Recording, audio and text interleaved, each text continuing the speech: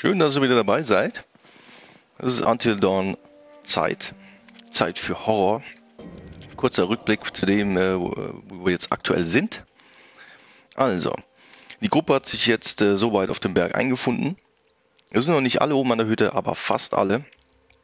Und ähm, ja, es gibt so ein paar äh, Liebeskonstellationen, in denen es äh, ziemlich viel Konfliktpotenzial gibt. Plus Chris, das ist der Kollege hier, und Ashley, die sind beide ineinander verliebt, aber noch kein Paar. Das wird äh, vermutlich auch noch kommen oder zumindest eine Rolle spielen.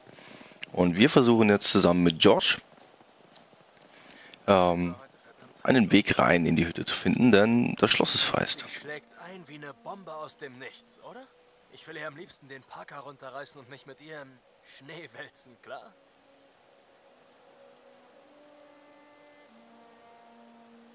Ja. Absolut, Mann. Wann willst du denn die Kleine ins Bett kriegen? Als hätte ich da Chancen. Komm schon, Mann. Sie verbringt doch praktisch ihr gesamtes Leben nur mit dir alleine. Ja, aber nur als Freunde. Hör zu, Alter. Sieh dich um. Sieh dir die herrlichen Berge an. Siehst du hier irgendwo Eltern? Ich meine, gibt's irgendwo ein perfekteres, super Szenario, so vollgepackt mit erotischen Möglichkeiten? Du und Ashley, endlich allein. Du hast die Vorarbeit geleistet. Du warst der perfekte Gentleman. Jetzt hol sie dir endlich in die Kiste. Die Motivation von Kumpels ist äh, offen und präzise. Und er hat recht. Vielleicht hast du recht. Du bist ein Killer, Bro. Keine Furcht, keine Gnade. Ich meine, sie wird nicht wissen, wie ihr geschieht. schon gut, schon gut, kapiert. Wow. Also, lautet der Plan, um in die Lodge meiner Eltern einzubrechen? Ich habe nicht gesagt, ich hätte einen Plan. Ich dachte, du hättest einen. Denk dir was aus, Kumpel. Sonst hast du hier vier entzückende Ladies, die sich den Hintern abfrieren. Ich sag's dir gleich. So kriegst du sie nicht in die Kiste. Oh, shit. Keiner steht auf Frostbeulen. Das sieht doch gut aus hier. Blinky, Blinky. Oh, da hat jemand was eingebrochen. Äh, aufgebrochen. Axthalterung natürlich, super. Eine an der Wand befestigte Halterung, in der eine Axt stecken sollte. Die Axt fehlt jedoch. Ich hoffe, das heißt hier nicht, äh, doch, ich habe ja offensichtlich schon zwei äh, weitere Hinweise verpasst. Das fängt ja gut an. Das demoralisiert mich jetzt aber. Ja, ja, ja. Das nenne ich ja mal clever. Sehr gut.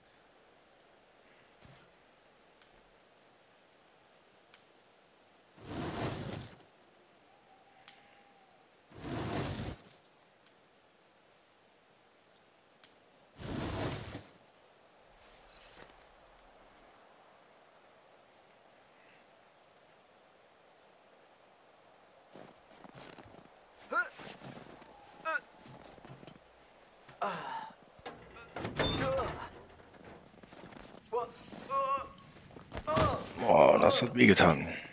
Oh, alles okay. Hätte ich in der Kletterstunde mal besser aufgepasst. Ja, wir sind ein bisschen. Sport? Ja, da wo man das Seil hoch muss. Sport. Die Kletterstunde. Wow. Äh, war ich das? Ich glaub nicht. Hier, nimm das. Ich habe mich schon gewundert, dass die Lodge überhaupt, dass da Licht an ist. Oh, Chris, ich habe gerade eine Wahnsinn. Da war ein Jahr lang das Licht an. Absolut. Ja, lass hören. Okay, also, ich bin ziemlich sicher, ich habe noch irgendein Deo in einem der Badezimmer. Benutzt doch das mit dem Feuerzeug. Äh, ich schnall das nicht. Wie soll uns ein Deo-Stift denn helfen? Spray, Mann, es ist Spray.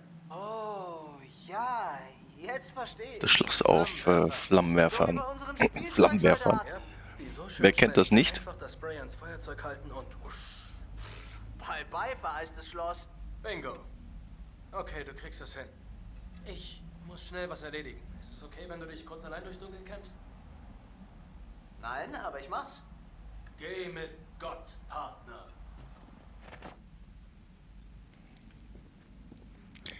Ich erinnere mich daran, dass ich als äh, etwas größeres Kind noch mit Autos gespielt hatte. kennt das, schön Stunts, so mit Hot Wheel Autos und sowas. Und als ich dann feststellte, dass Haarspray und Co. brennen, habe ich dann äh, besondere Stunts ausgeführt, indem ich dann äh, die Autos eben mit Haarspray eingesprüht hatte und sie habe brennen lassen. Oh, apropos brennen. Verlusttote. Der Verlust einer Freundin.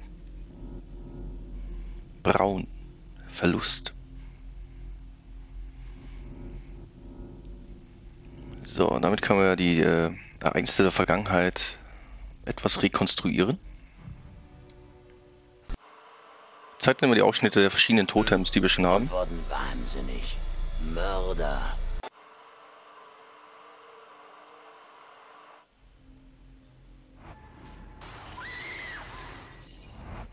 Wie könnte das sein? Das sieht aus wie Emily, oder? Werden wir dann sehen. Vermute ich. Ich habe mal irgendwie gelesen, dass man irgendwie oder fast alle retten kann. Bin mir aber nicht sicher, ob das so stimmt. Äh, werde ich mir jetzt aber nicht auf die Fahne schreiben. Ich sehe das eher als schon wie ein Film und ähm, die Entscheidungen werde ich trotzdem weiterhin so treffen, wie ich sie treffen würde, unabhängig davon, ob ich glaube, ob das vielleicht mal auch eine schlechte Entscheidung ist. No risk, no fun. So, suchen wir mal nach Hinweisen. Ich habe nämlich schon viele verpasst. Zwei Stück.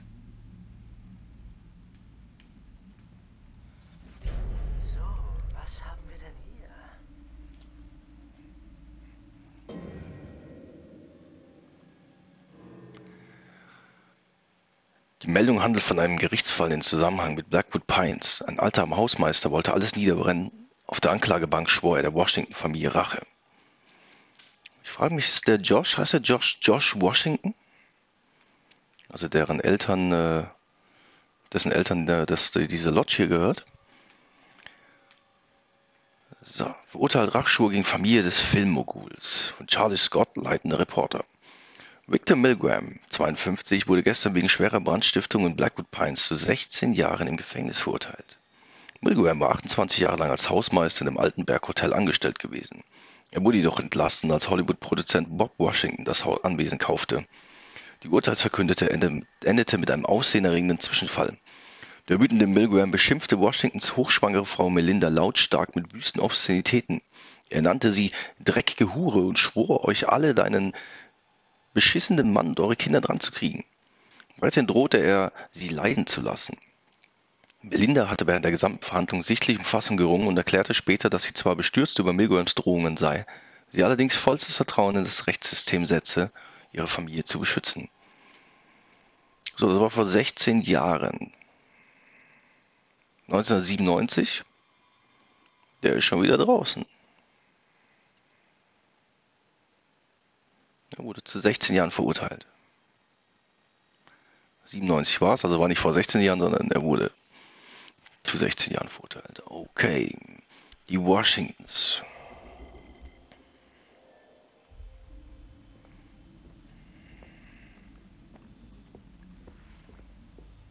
Auch ganz angenehm, dass die schneller laufen können und nicht die ganze Zeit hier so rumtrotten.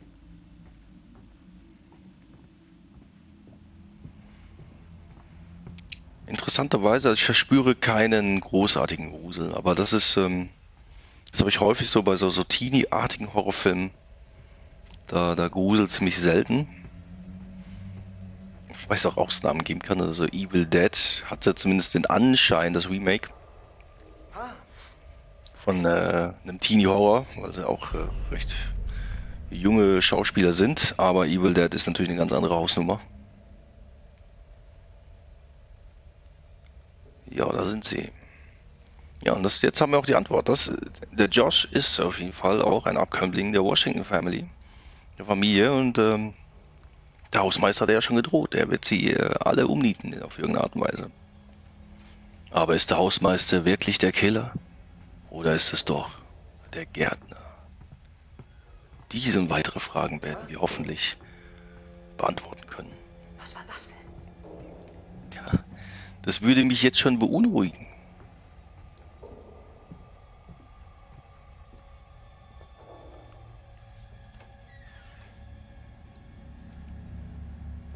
Aber es war nur ein Windstoß.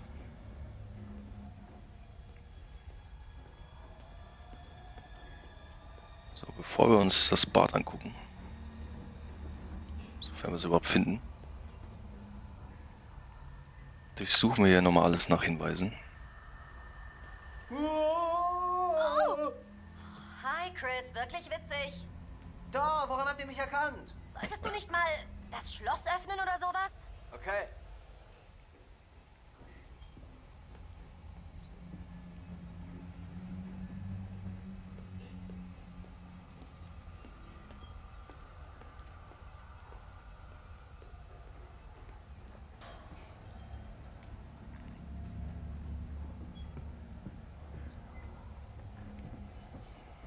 Meinte, der Josh meinte oben im Bad. Dann durchsuchen wir erstmal unten alles.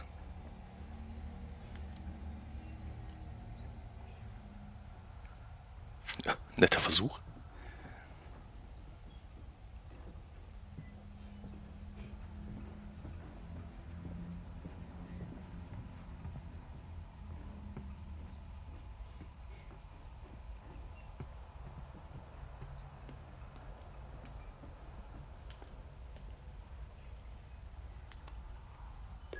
Eine neue Nachricht. Neue Nachricht. Hi, Mrs. Washington. Hier ist Sergeant Tate nochmal. Ich fürchte, ich habe schlechte Neuigkeiten. Wir haben die Fallakten durchgesehen und man kann da nichts tun.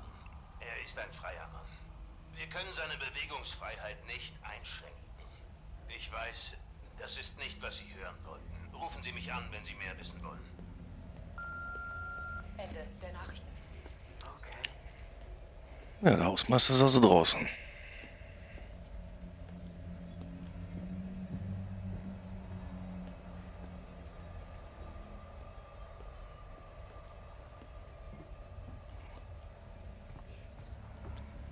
Kurz checken, ob wir diese Anrufbeantworter-Nachricht hier auch nochmal sehen. Ah, okay. Die Hinweise sind nicht chronologisch geordnet. Ich hatte also doch nicht zwei Hinweise übersehen.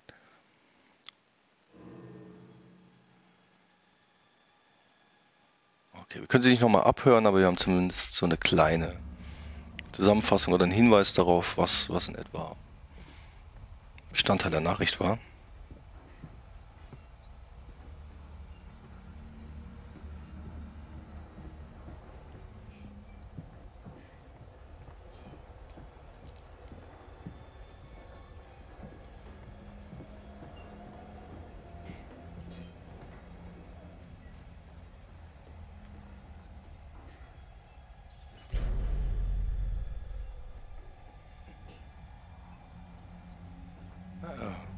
Das ist halt auch interessant, ne?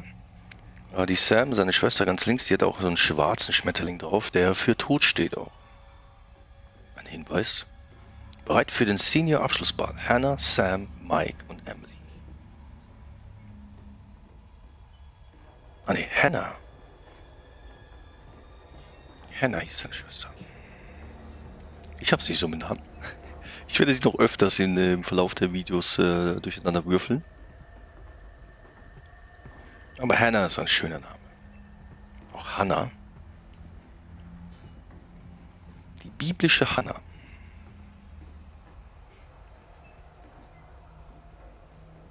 Echt cooles Haus. Ist zwar ein bisschen anstrengend, mit ihm hier so rumzulaufen, vor allem, weil ich ja jetzt echt erstmal jeden Millimeter hier abgrasen möchte. Aber sicherheitshalber.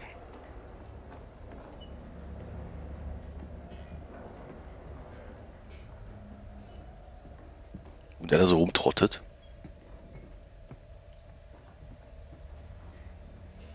Da brauche ich jetzt diesen ADHS äh, Final Fantasy 12 Modus. Turbo Mode.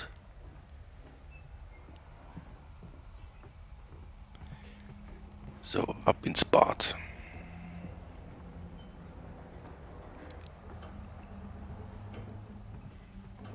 Aber grafisch ist also, muss man echt sagen, es ist echt top.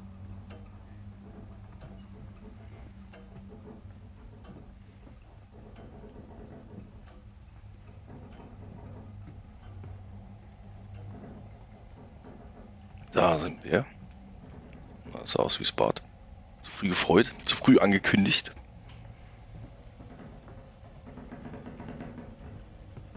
Das ist nur der Wind. Das ist nur der Wind oder ein Eichhörnchen. Maschinengewehr.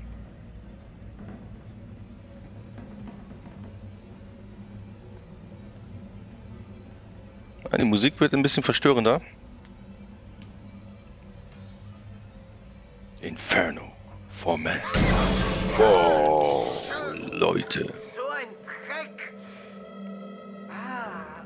Das haben sie gut gemacht. Was war das für ein Tier? Sah auf die Schnelle aus wie ein Wolf. Ähm, ist nur ein bisschen klein für ein Wolf. Also, was war's? Ein äh, angepisster Waschbär. Wir frieren doch hier draußen.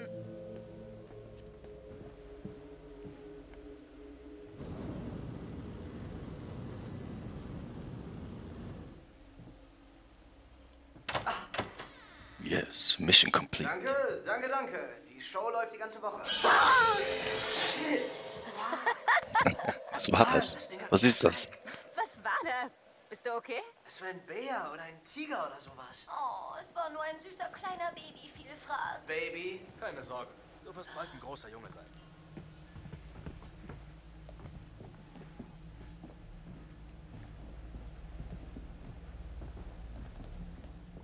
Home sweet home. So würde ich das nicht ausdrücken. Oh mein Gott, es tut so gut drin zu sein. Auch wenn es hier irgendwie ziemlich eisig ist. Ich mach mal Feuer an. Hier hat sich ja kaum was verändert. Es war niemand hier oben. War nicht die Polizei ständig hier? N na, in letzter Zeit war ja nicht viel los. Oh. Was geht, Party People? Hey! Hey, Hey! Hey, Mann. fühl dich wie zu Hause, Bro. Klar doch.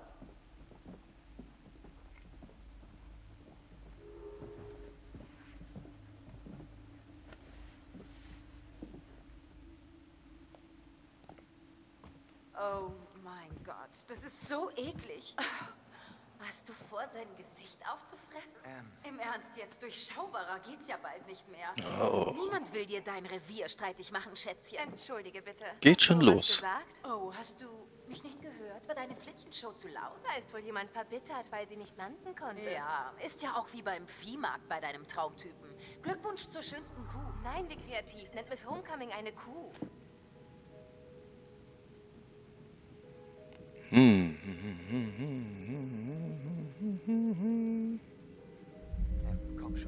Schnauze, Matt.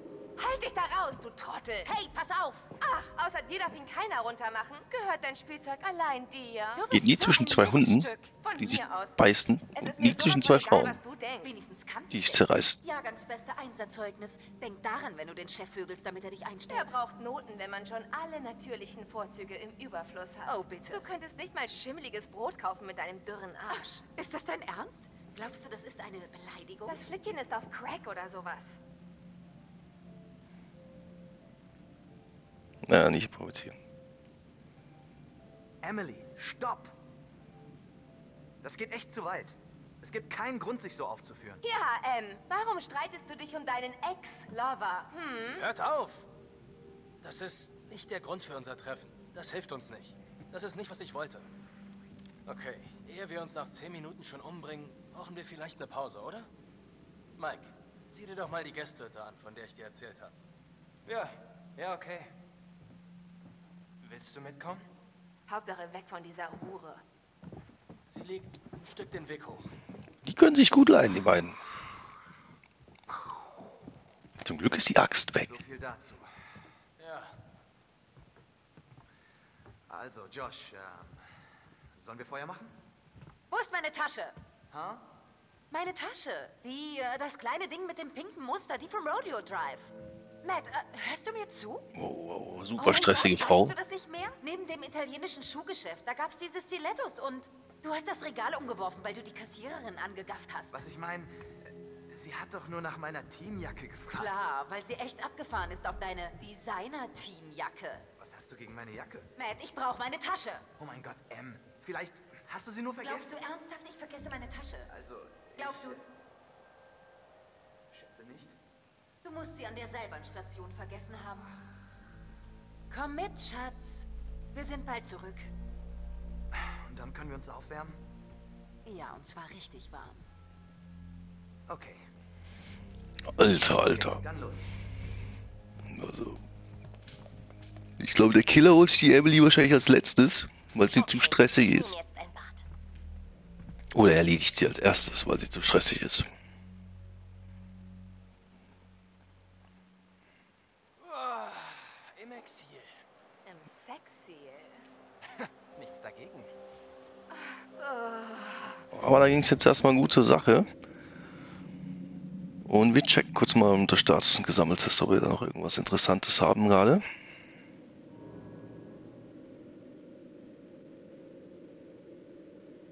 Ja, das ist natürlich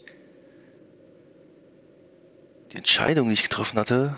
Natürlich hätte er ab und zu mal auch zu Emily stehen können, aber ich fand, die Emily hatte das ganze Ding gestartet. Außerdem müsste er schon sauer sein und sich fragen, warum regt sie sich noch so auf, wenn das doch ihr Ex-Freund ist oder er ihr neuer Freund ist.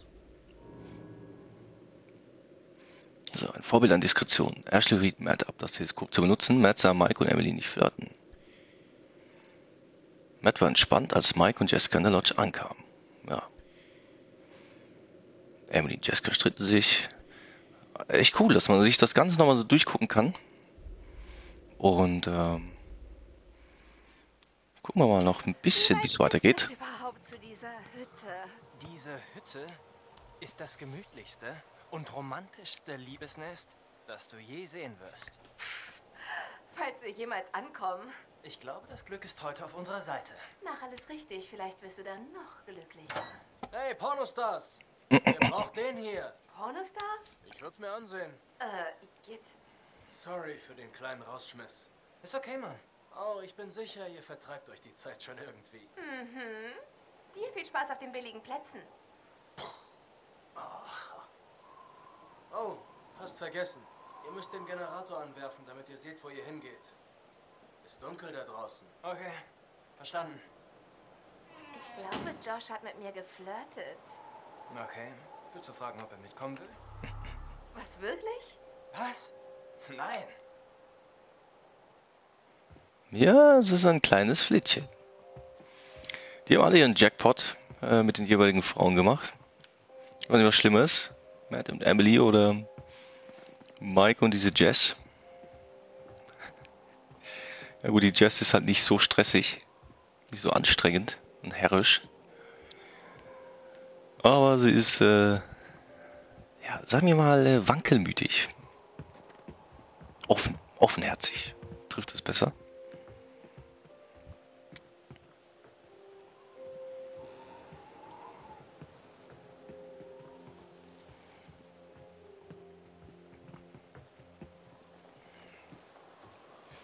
Das ist echt super in Szene gesetzt alles.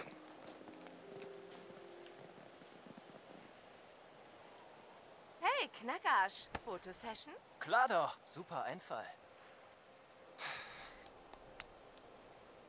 Time.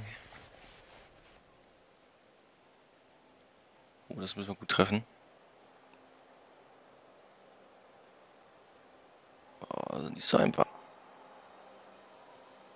Nicht bewegen.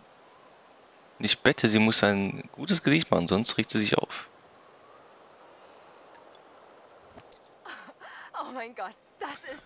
Yes! Wir sind so ein heißes Paar. Aber wir sind sowas von ein heißes Paar. Du hältst die Kamera bereit, dann wird es vielleicht sogar ein Portfolio. Oh, oh, oh, oh. Was habe ich vorhin gesagt? Äußerst offenherzig, die Dame. Oh, es ist eiskalt hier draußen. Na, da kann ich Abhilfe schaffen. Und wie willst du das anstellen? Äh, Ich hätte da ein paar Ideen. Da, da, was ist das? Hier Ein ist Hinweis. Alles ein bisschen runtergekommen. Schade. Privatgrundstück Washington anwesend.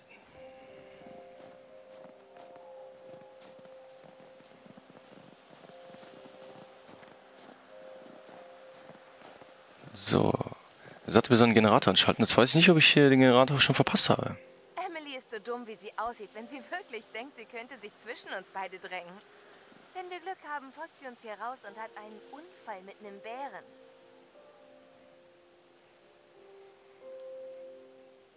Ich glaube, bei dir sieht sie rot. Ist das so? Übelste Eifersucht. Ihr Pech.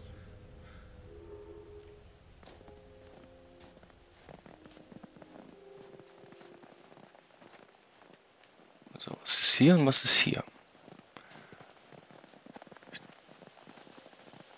Ich denke, hier könnte es den Generator geben. Oder es ist schon die Gästehütte, aber ich glaube, es ist der Generator. Da sind auch Fußspuren, habe ich da, glaube ich, gesehen. So, was zeigt uns das äh, Totem? Braun. Oh, nein. Nicht Ashley. Wie süße Ashley. Ich weiß auch immer noch nicht, ist das etwas, was eintreffen könnte? Oder wird? Wobei, ja, ich glaube, könnte.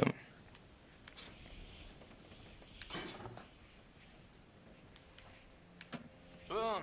Sehr gut, Mikey. Nochmal. Wow, du bist echt genial. Aber sowas. Nee, nee, nee, nee. Ganz, ganz kurz nochmal gucken, nicht, dass da noch irgendwelche Hinweise drin sind. Ich bin schon so wie die CSI Nerd Universe.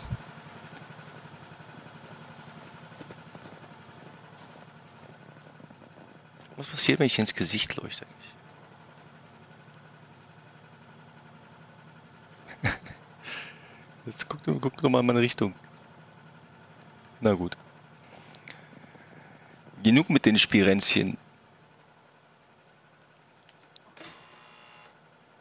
Das mit diesem R2 und dem äh, rechten Analogstick irritiert mich immer noch ein bisschen. Ich habe kurz einen Delay, bis ich das dann drücke und dann äh, gut, oder? nutze. Ja, total, das ist super. Oh ja, ich hab die Hits.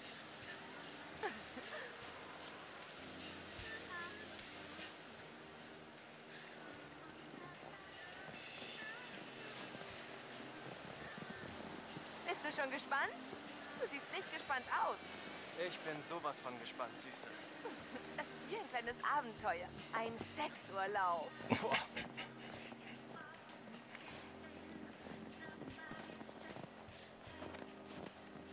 Schauen wir doch mal, wie lange die beiden überleben. Wer von beiden überlebt und warum. Ja, dünner. Wegen Hannah und Beth. Wieso räumen die das nicht weg? Tja, die Ermittlungen wurden nie abgeschlossen. Okay, jetzt kriege ich Gänsehaut.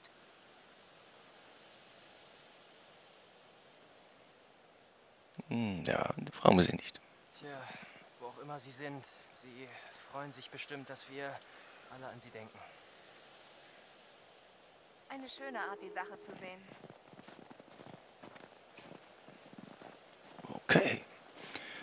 Bevor wir jetzt hier in die Hütte gehen und äh, Jess und äh, Mike sich miteinander vergnügen, beenden wir das Video. Das müssen wir euch natürlich vorenthalten. Nein. Im nächsten Video äh, wird es weitergehen mit Until Dawn und der Truppe hier auf dem Berg. Ich hoffe, ihr seid dabei. Lasst es euch gut gehen. See you next time.